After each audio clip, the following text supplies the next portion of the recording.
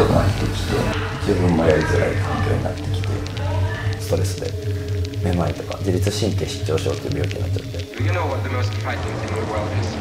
と遠のいていくっていうか足がめっちゃ重くなってきて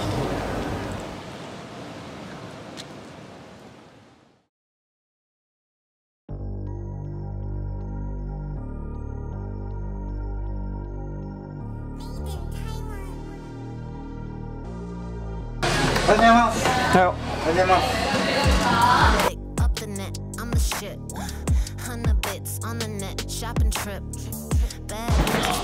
ビップ？はい。えお客さん来るんですか？これあい。や代表のライトは。なんかちょっと電話してきて代表辞めたいって言ってたんで代表辞めたいって言ったんですか？はい。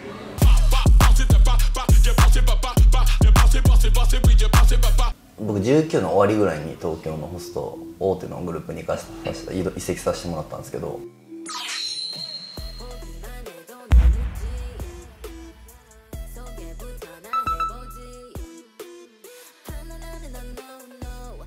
決め手はでも渋夏社長ですね。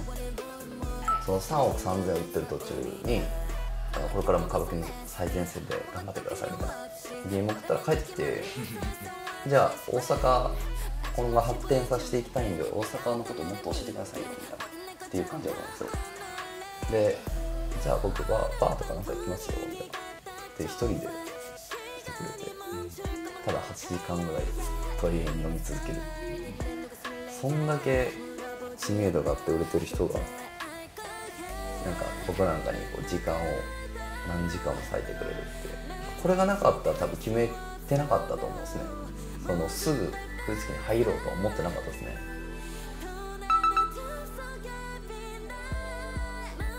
僕が僕のお店に入れました 間違いない。は物価だけで言ったら先月4000万っていう数字がいいっててその4000万のうちの内訳って1500万。で俺の半分の600万。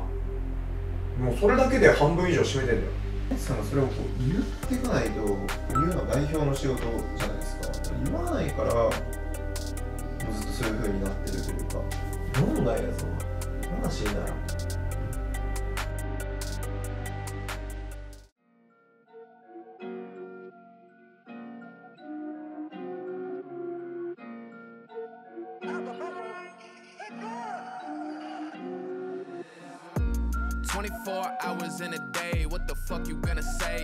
まあそれちょっと話そうって言って。お酒あんま入ってない時にやっぱ話さないとって感じなんで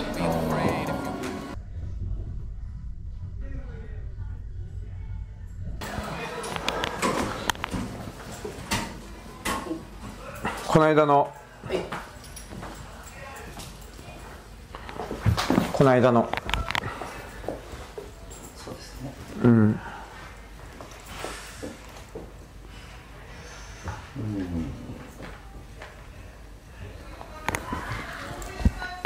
こう代表を代表に選んでもらう代表にしてもらってからなんかいろいろガラッと変わりすぎてなんか自分が作りたいお店じゃないまあなんなんていうんですかね。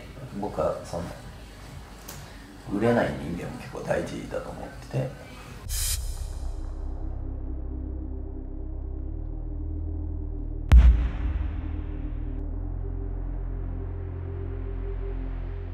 だからこうにっていうか緩くしちゃってた部分があってただこうやっぱナンバーワンの職が入ってきてナンバーワンが正義ってなって僕の意見が言いづらくなって通らなくなって自分もやりづらい環境になってきて仕事がどんどん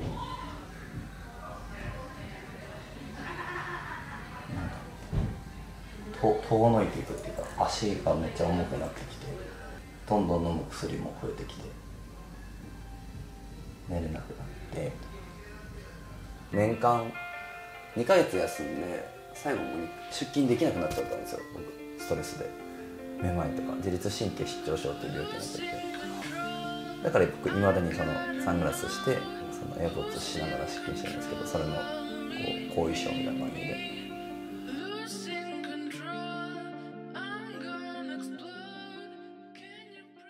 まず根本的に今ライトが言ってることで間違ってるというか翔くんは翔くんライトはライト。だけどライトは多分じゃあ翔くんが厳しくバーって言います。多分それに合わせようとしちゃってました。だから多分自分もどんどんしんどくなってあれなんか俺の意見が通らないってなっちゃってたと思う。でもまず一つ誤解してほしくないのはあくまでもこの店で一番偉いのはライトなわけ。ライトはライトのやり方があるこれは変えられない。ライトの優しい指導の仕方優しい教え方だったりいろんなこと。それをいきなりさ厳しい人間になったりして無理じゃんこれ。だってライトの人生なんだ今までの培ってきたものだから。俺はそれを変えろなんて一言も言ってないし変えてとも思ってない。ライトはライトでいいんだって。ライトはライトでいいんだって。大丈夫そう。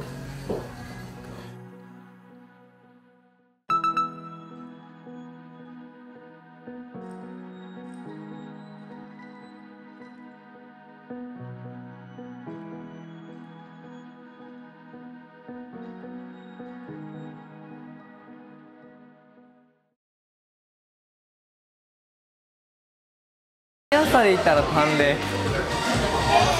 ホストだね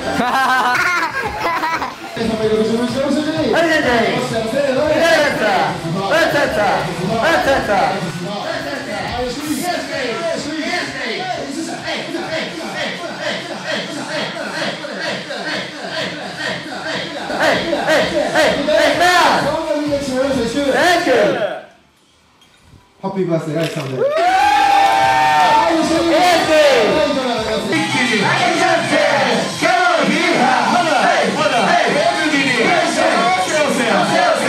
八神ライト代表大子だ素敵な弁当くらいバースデーケーキいた。だきましたは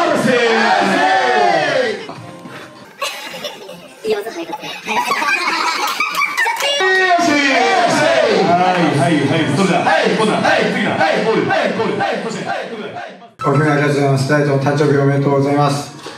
来年も見据えてよろしくお願い。します。ありがとうござい。ます。よい。しょ。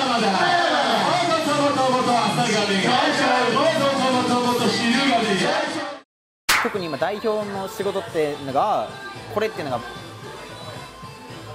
わからないんで、まあ、今はぶっちゃけ誰が代表なのかわかんないかな。上司面してくるんですけどじゃあ数字上げろよみたいな。じゃあ仕事しろよみたいなのはやっぱ思いますよね僕は、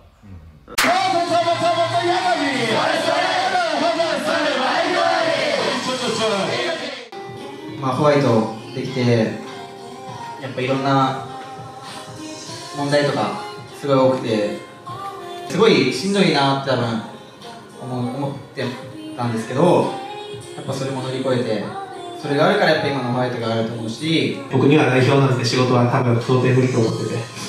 ライトさんやからみんなこうねうまくこんななんか尖ったやつらがうまくまとまってるんかなって思ってるんで来年の誕生日一緒にね祝えるようにしたいんで、はい、これからもよろしくお願いします。よいしょ。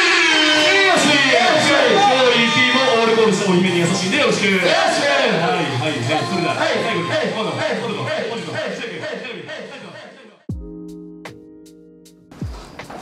いやい。いお誕生日だったな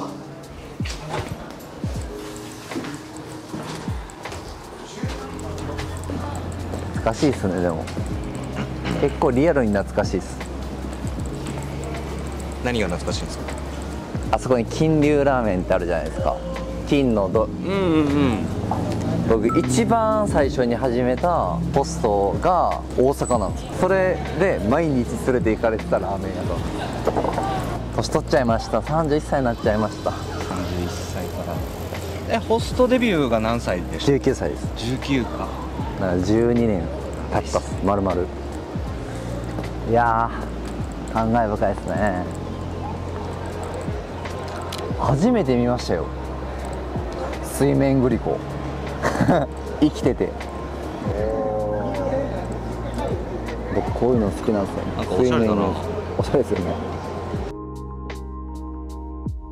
先月ですかね。はい。はい。渚さんにはいはいはい。もう代表辞めたいって。はいはいそんなもん言うんですね。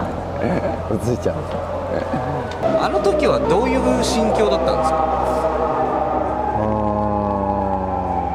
バースへのプレッシャーもあったしそれプラス従業員が減っていったじゃないですかどんどん。なんか僕が代表やっててまあ僕が一番最初にしたかったことは従業員を増やしたかったんです渋夏さんも社長も言ってるんですけどじゃあ100人いれば1億売れる。って簡単に言うんですけど、まあ本当にその通りだと思うんですよ僕は。人数がいないとやっぱ女の子も満足しないしなんか自分が作りたかった店と違うってでずっとなんか渚さんに言いづらくて。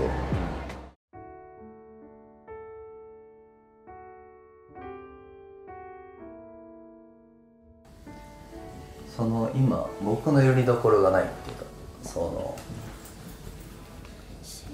今俺がいるじゃん。俺がいるじゃん。じゃあこうやって自分の中でいっぱいいっぱいになる前に俺に言えばよよくない？じゃあライトのダメなとこ言うわ。俺に言ってこいもっと。もうちょっとでも嫌だなと思ったら。多分そこはライトが唯一変えなくちゃいけない。俺に相談する。俺に口を吐く。